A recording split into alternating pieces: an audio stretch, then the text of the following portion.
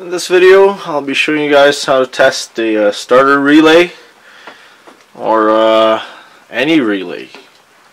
This is what the uh, classic or traditional starter relay looks like. It's got two big terminals here on each side, two little terminals here. And uh, the next video I will be doing the disassembly of this that you can see exactly how it works inside and uh, as you can see up here there's some sort of like rivet. And this is connected to ground. Here it says 12 volts. Or just 12V but uh, so what what the uh, what is a relay? Uh, in simple terms it's just a switch. Or to be more a little bit more precise it's a uh, an electromagnetic switch which means electromagnetic just means electricity and magnetism. Electron, electro, uh, electric and magnet. Just remember it like that. That's how I remembered it. Just makes, and of course, what you have in your home, for example, is for the lights. You just have a mechanical switch, which means you actually need some mechanical movement to uh, turn it on or off. So here, obviously, you always need some sort of um, mechanical movement, but it's here you're actually using a magnet to turn on the switch. So you're actually turning on the magnet, which then turns on the switch. And uh, well, why would you do that? Uh, to be in simple terms, because people are cheap, right? They're trying to save money. And uh, so, as you can see, th these things they usually go on batteries. And uh, the starter is the uh, item on the car that uses the most electricity, the uh, higher amps, if you will. Uh, you have, and you also have the heater and the air conditioning, and those do take up, up a lot of electricity too, but not nearly as much as a starter. That's why these pins here, they're so thick, right?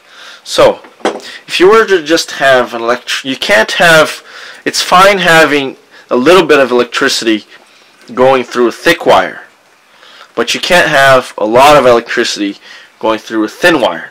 So if you do that, it'll just melt the wires right? I had a uh, I had a guy once, and he tried uh, connecting.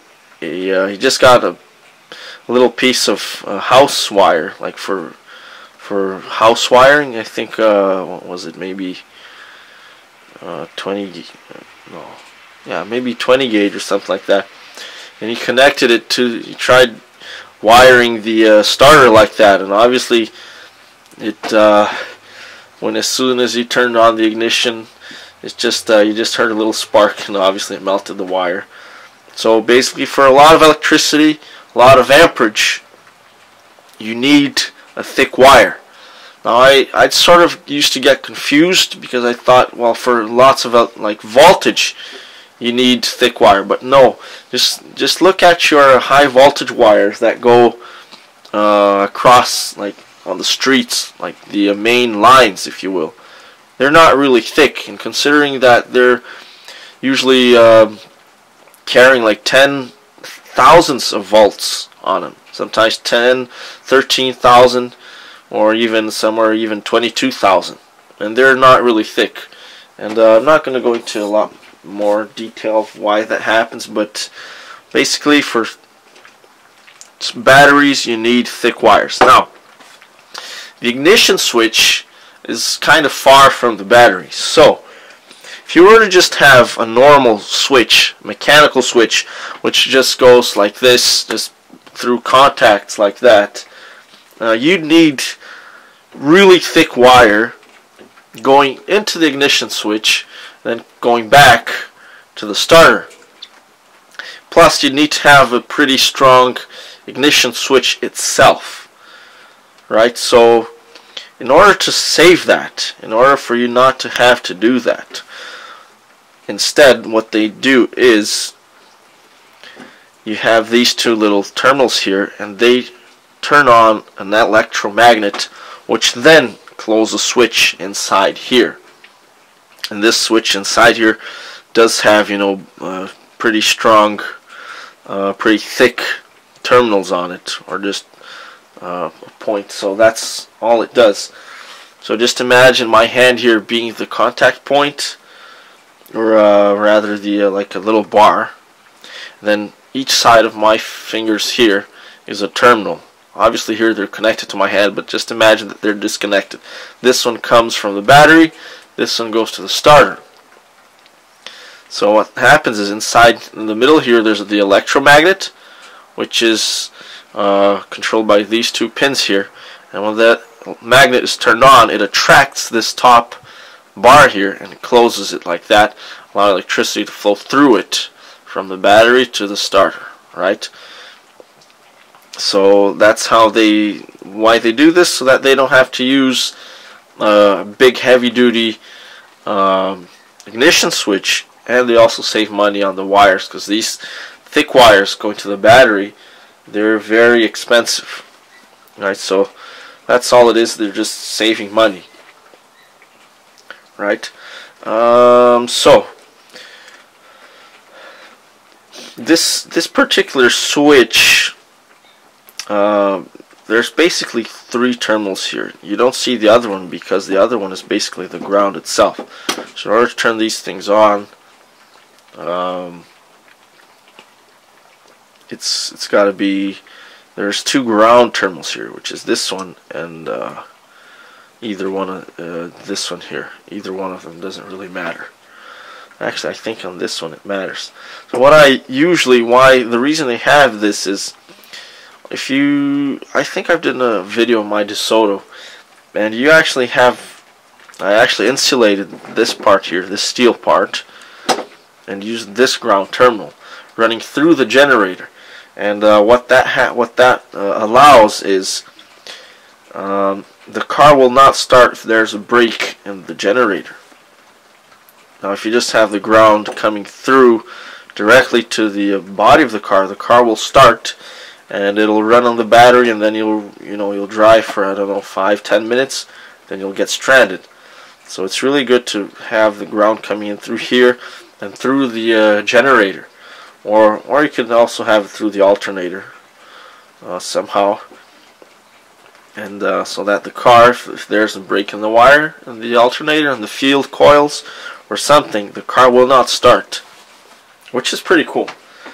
But uh, anyways so there's two types of switches basically. You have an on switch normal on and a normal off switch. So in here uh, you don't want the starter to be on all the time. You want it to be off most of the time. You only want it to turn on for a few seconds or actually for a second just when the car starts and you want it to turn off. So the normal position for it is off. So there's a spring that keeps this top bar apart and then when you turn it on the magnet attracts and, and it closes like that. So some switches are the opposite. You have an off switch uh, or a non switch rather, normal on. And the normal on switch is just the opposite. It's normally on, and then uh, electricity is able to pass through it, and then it only turns off when you press it. So it, then it'll do the opposite. You'll have an electromagnet maybe on the other side here, and once you and it'll separate. So bottom line, these these two terminals we're not supposed to have electricity coming through them and as I as per my previous test I should expect electricity flowing through it which means that the spring here inside is damaged. How do you test that? Well I'm just gonna connect one end of it to the uh, battery charger. And if I get a spark on here once I touch it like that obviously it's off now but if I get a spark that means we have electricity flowing through it even though I have nothing um, you know, powering the electromagnet here. You only need, don't turn the uh, battery charger up to like 75 or even 12 amps. You just need a little bit of electricity, just a little bit of amperage just to test it. And as you see, sure enough, you have electricity th flowing through it. So the starter relay is damaged. Now there are some other fancy relays that have like four sets of terminals or you know but the uh, principle is the same in the vast majority of them it's just four terminals. So you know uh, if you're if you need some sort of replacement um, relay don't bother with any of uh, buying like um, original equipment especially if you have like uh, just buy any any sort of relay it doesn't really matter which you can even use these big ones here right which would be kind of funny for like I know some relays for little light bulbs and things are only that big. It would be funny to have something big like that, but uh, it's it's very odd that this went bad. These things are supposed to be really heavy duty, but we'll disassemble it and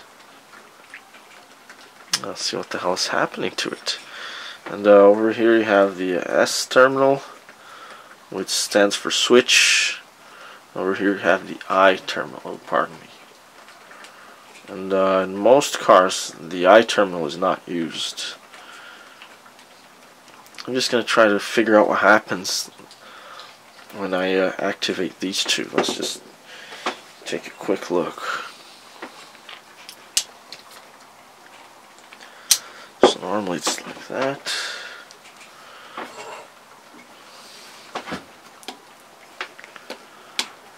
just, you're supposed to hear some sort of clicking.